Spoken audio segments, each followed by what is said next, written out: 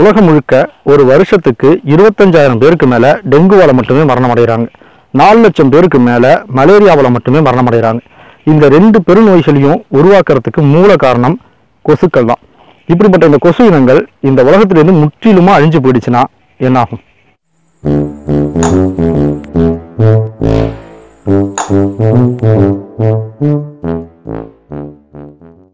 கொசு இனம் இந்த உலகத்திலிருந்து முற்றிலுமா இல்லாமல் போயிடுச்சுன்னா நாம உட்பட இன்னும் பல உயிரினங்கள் நிம்மதியாக தூங்கலாம். நாமெல்லாம் நிம்மதியாக தூங்க ஆரம்பிச்சிட்டோம்னா கொசுக்களை கட்டுப்படுத்துறதுக்காகவே உருவாகி இருக்க பல நிறுவனங்கள். கொசுவத்தி தயாரிக்கிற நிறுவனங்கள்லேருந்து சில எலக்ட்ரானிக் டூல்ஸ் மூலமாக கொசுவை கட்டுப்படுத்துகிற நிறுவனங்கள் வரைக்கும் அதுக்கு மேலே செயல்பட வேண்டிய தேவை இல்லாமல் போயிடும். இப்போ நாம கொசுக்களை கொள்றதுக்கு பயன்படுத்துகிற அந்த கொசு பேட் அதுக்கப்புறமா குழந்தைகளோட விளையாட்டு சாதனமாக மாறிடலாம். கொசு வலைக்கு இனிமே தேவை இருக்காது. டெங்கு மலேரியா போன்ற நோய்கள்லாம் அதுக்கப்புறம் உலகத்தை விட்டே போயிடும்.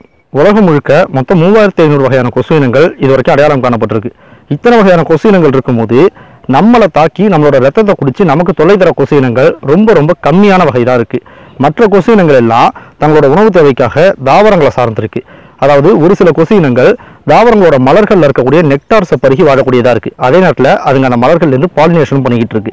இன்னும் சில வகை கொசு இனங்கள் தாவரங்களோட தண்டுலையும் இலையிலையும் உள்ள சாரை உறிஞ்சி வாழக்கூடியதாக இருக்குது இன்னும் சில கொசு இனங்கள் தாவரங்களோட பழங்களில் உள்ள சாரை உறிஞ்சி வாழக்கூடியதாக இருக்குது இப்போது கொசு இனங்கள் முற்றிலுமா பூமியிலேருந்து அழிஞ்சு போயிடுச்சுன்னா தங்களோட பாலினேஷனுக்காக மகரந்த சேர்க்கைக்காக கொசுக்களை மட்டுமே நம்பி இருக்கக்கூடிய பல மலர்கள் அதுக்கப்புறம் பாலினேஷனை நிகழ்த்த முடியாமல் போயிடும்.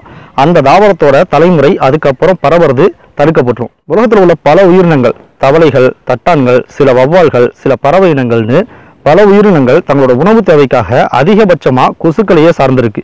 கொசு இனம் முற்றிலுமா அழிஞ்சு போச்சுன்னா இந்த உயிரினங்கள்லாம் பட்டினி கிடக்க வேண்டியதாயிடும் இதெல்லாம் வச்சு பார்க்கும்போது கொசு இனம் முற்றிலுமா அழியறதுன்றது இந்த உலகத்துக்கே ஒரு பெரிய கெட்ட செய்தி தான் இப்போ உங்களுக்கு இன்னொரு சந்தேகம் வரலாம்.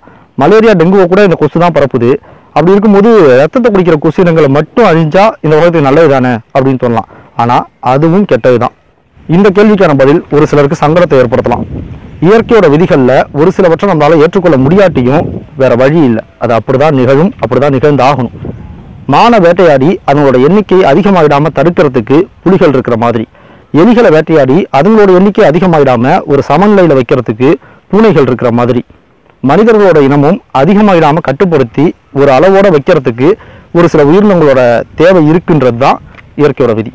மனிதர்களோட எண்ணிக்கை ஒரு அளவுக்கு மேல பெருகி போய் கட்டுக்கிடங்காம போறதை தவிர்க்கிறதுக்கு இயற்கையால சிங்கத்தையோ புலியையோ சிறுத்தையோ சார்ந்திருக்க முடியாது.